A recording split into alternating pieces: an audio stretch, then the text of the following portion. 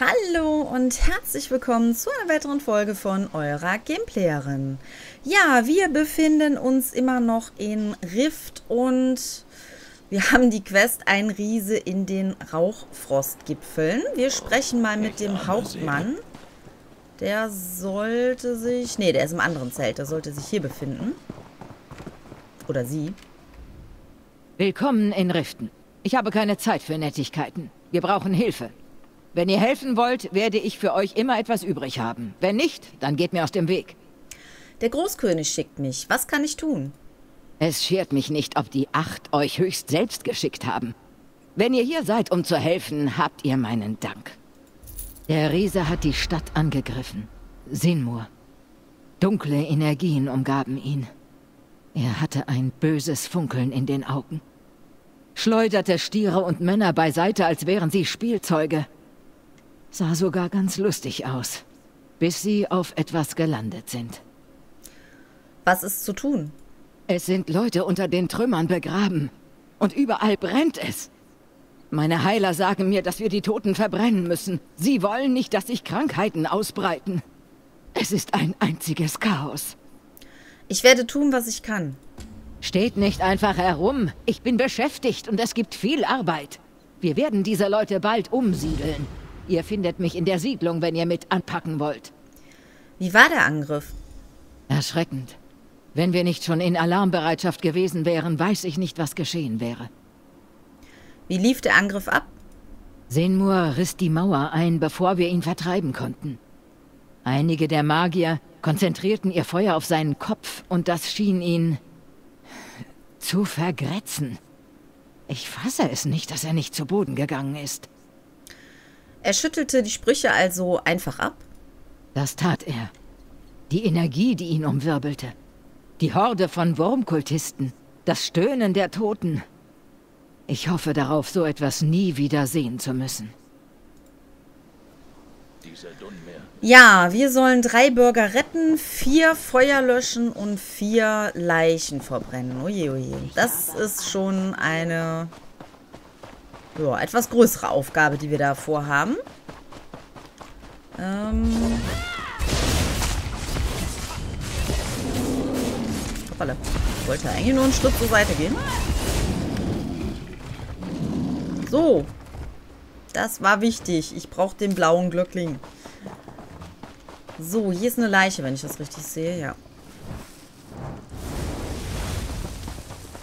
Da ist noch einer.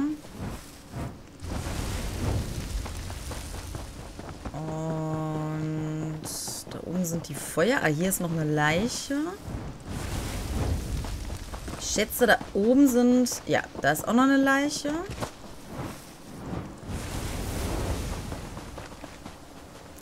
Wassereimer, ganz wichtig.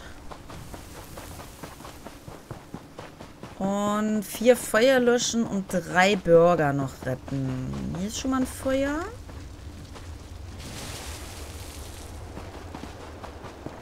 Dann, da ist noch ein Feuer. Hier ist wahrscheinlich hoffentlich äh, jemand drunter, den ich retten kann. Nein, leider nicht.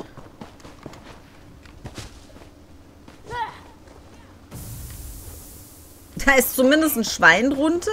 Es könnte natürlich auch ein verzauberter Bürger sein. Wer weiß. In diesem Spiel wundert mich gar nichts mehr. So, Moment. Noch ein Feuer ist gelöscht. Das hatten wir doch gerade eben schon mal gelöscht, oder nicht? Hm.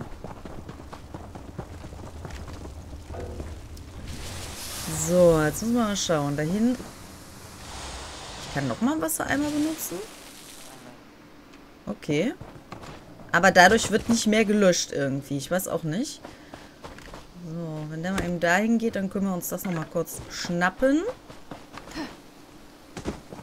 So, die Frage ist jetzt da. Da. Geh bloß nicht da hoch. Na, komm, komm. Danke, dass ihr mich befreit habt. Ja, kein Thema. Ich helfe dir aber nicht hoch, damit du weiterkommst. Ich lasse dich jetzt einfach mal so sitzen. Ich muss noch ein Feuer löschen. Es tut mir leid. So, dann haben wir das auch schon mal. Hier vorne scheinen auch nochmal Trümmer zu sein.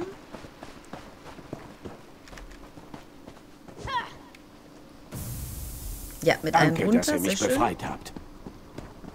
Gerne, gerne.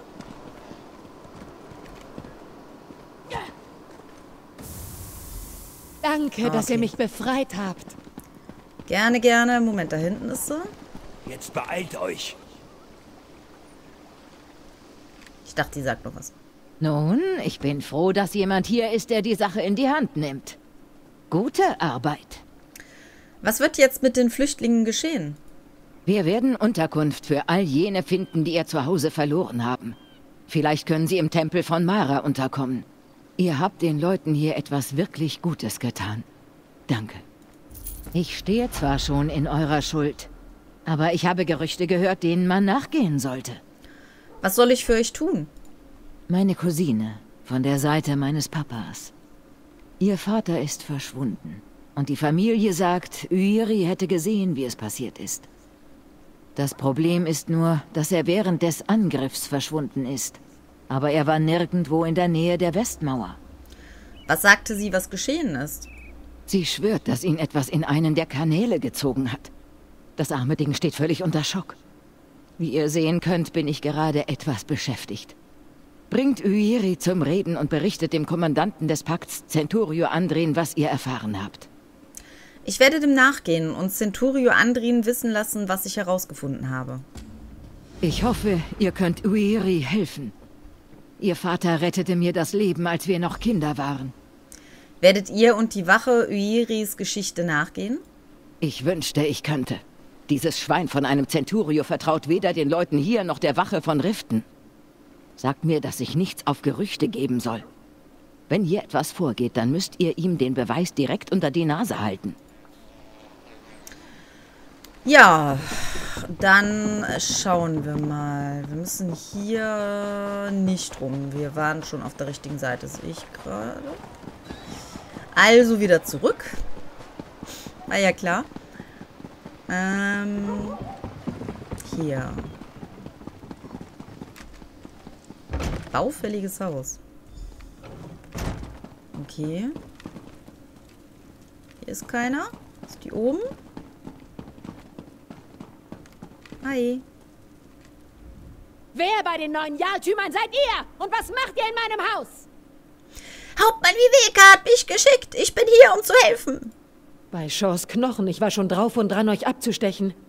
Irgendein Bastard hat versucht, meine Nichte zu töten. Das ist er. Ich habe ihn aufgeschlitzt wie einen Fisch. Er ist ein Wurmkultist. Das wie ein verdammter Skeva. Einem jungen Mädchen mit einem Messer nachzusetzen. Jeri hat ihren Vater verloren. Und jetzt versucht dieser Kerl sie zu töten? Was wollen die Würmer nur von Jeri? Stört es euch, wenn ich mir die Leiche ansehe? Nur zu. Aber Vorsicht mit den Eingeweiden. Wer weiß, was er so gegessen hat. Na, hoffentlich nichts, was jetzt noch lebt.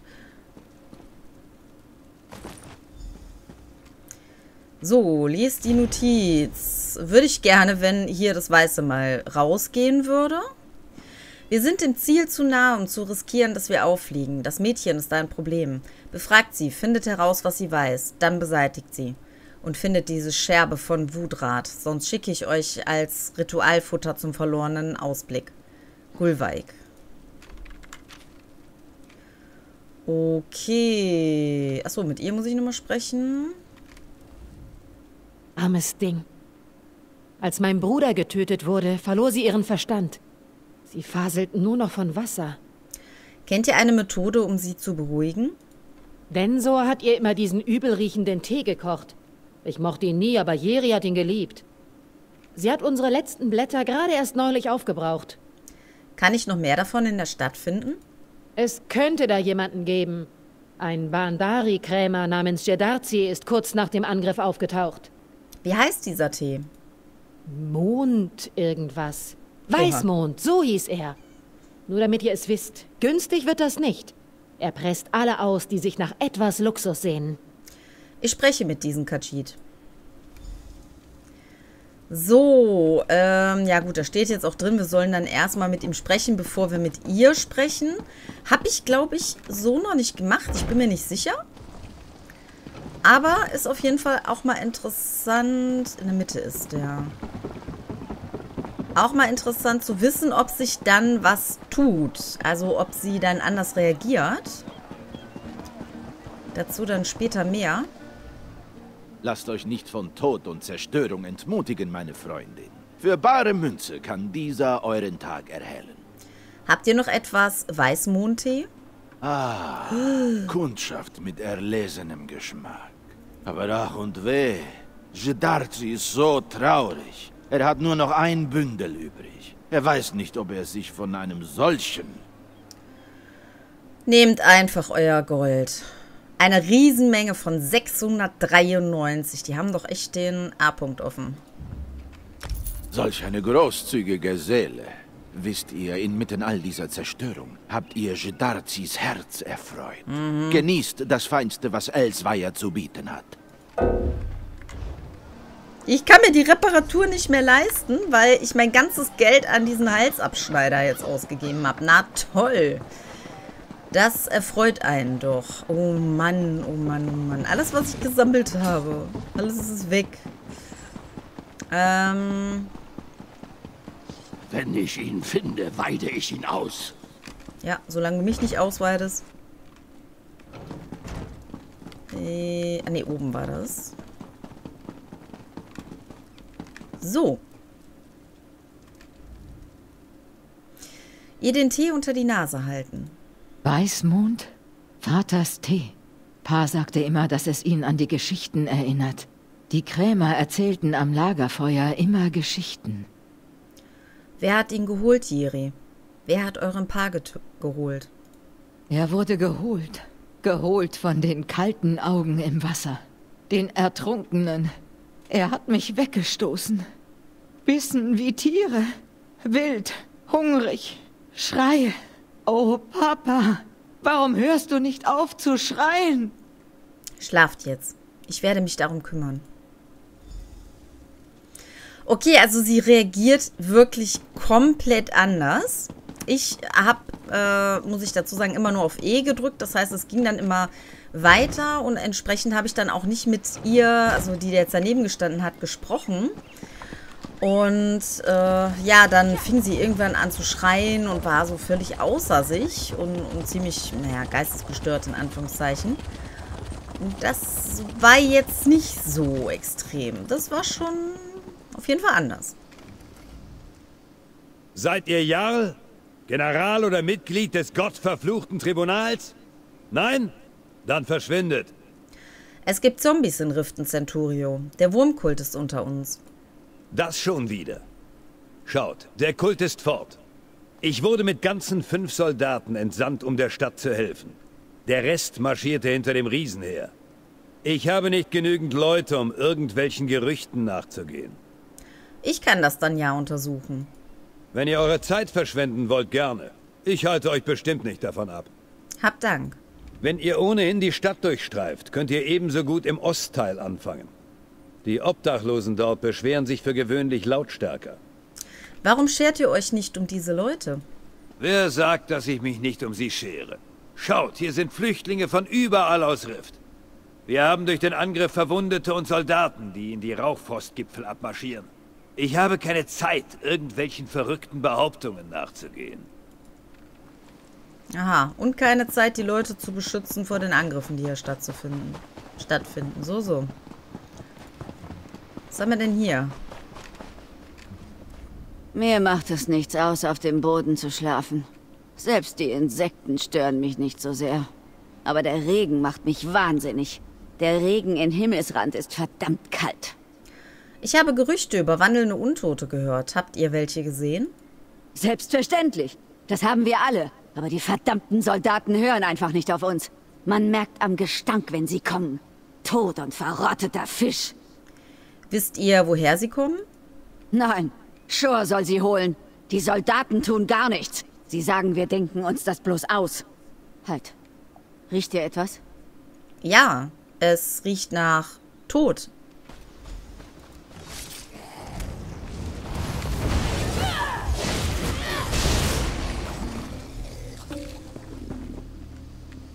soll ihn eigentlich untersuchen. Aber anscheinend habe ich das schon gemacht. Ähm, so, zum Stall. Kommen wir da raus? Theoretisch? Nein, natürlich nicht. Wir müssen das ganze Stück wieder zurücklaufen. Das ist einfach grauenhaft. Genau, das ist einfach grauenhaft. Finde ich auch. Sollte einen Weg hier durchgeben. So, Zombie am Brunnen hatte Stroh aus dem Stall. Hallöchen, mit dir muss ich sprechen. Ich mag Tiere lieber als Menschen.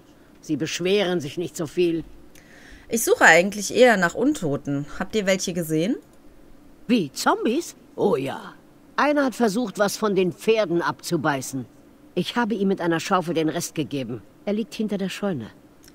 Ihr macht euch keine Sorgen deswegen? Ah, habt ihr schon mal mit einer Misthake gegen einen ausgehungerten Bären gekämpft? Nein? Im Vergleich dazu sind Zombies ein Zuckerschlecken. Schafft euch weiter. Ja, die ist ja geil drauf, ne? Hier ist er. So, abgeschlossen. Jetzt müssen wir wieder zurück und in die Stadt. Ich bin die ganze Zeit am gucken, aber dieses Buch, was hier angeblich sein... Ach, das ist in der Magiergilde. Ah, weil das würde ich nämlich auch gerne nochmal eben mitnehmen. Das natürlich auch. Geht mir aus dem Weg, ich bin auf der Suche nach Zombies. So, ich weiß jetzt nicht, ob das das gleiche Buch ist. Wenn wir Glück haben, ist es das gleiche, weil dann können wir das nämlich hier direkt... Ach, das ist da unten. Äh. Erstmal hier runter. Ja, es ist das gleiche. Sehr schön. Hm. Ja. Zurück! Es ist noch da! Ihr müsst hier raus! Was ist geschehen? Ich wurde von einem Zombie angegriffen. Er ist einfach aus dem verdammten See gesprungen.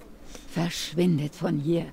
Ich bin sicher, dass er hier noch irgendwo ist. Seid ihr verletzt? Kühnes Schwingen. Nein, ich röchle wie ein abgestochenes Schwein, weil die Fische dann besser beißen. Ach so. Er hat mich gekratzt, als ich nach dem Fischgestell griff. Ich werde mich in eines dieser Dinger verwandeln. Ich bekomme einen Heißhunger auf Hirn. Ich spüre schon, wie mir die Haare und die Zähne ausfallen. Ich glaube nicht, dass man so zu einem Untoten wird. Oh, seid ihr ein Experte? So eine Art Nekromant? Hm? Geht einfach. Je mehr ihr sagt, desto mehr bekomme ich Lust, euch in den Kopf zu beißen. Na gut, untersuchen wir mal den Fisch. Da ist einer.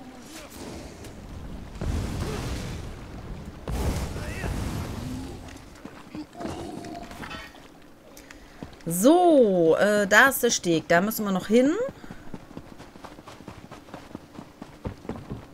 Ich fühle euch näher kommen. Aber ihr kommt zu Wir spät. haben die Toten nach den Bruchstücken von Wutrat suchen lassen. Und wir haben eines gefunden. Okay, es war anscheinend doch nicht hier oben. Ich weiß, dass ich schon mal hier hochgelaufen bin, aber dann war das wahrscheinlich, um ein Buch zu holen. So, mal schauen. Beweist uns euren Wert, Einsiedler Gama. Gesellt euch zu meinen Ertrunkenen. Werdet Zeuge und Tote der Tiefe. Da noch mehr. Da waren noch mehr. So, sprecht mit Centurio. Es war doch der Typ da an der Kriegergilde, genau. Wieso laufe ich hier eigentlich, anstatt zu reiten? Ich bin mir noch nicht sicher.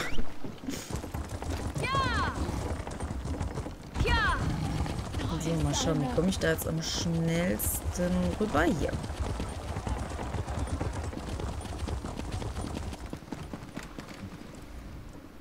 Da seid ihr ja wieder. Ich hoffe, die Skeva-Jagd lief gut. Alle Zombies tot? Sind wir sicher? Der Wurmkult war hier. Ich habe die Kultisten aus Riften vertrieben, aber sie haben ein Bruchstück von Wutrat mitgenommen.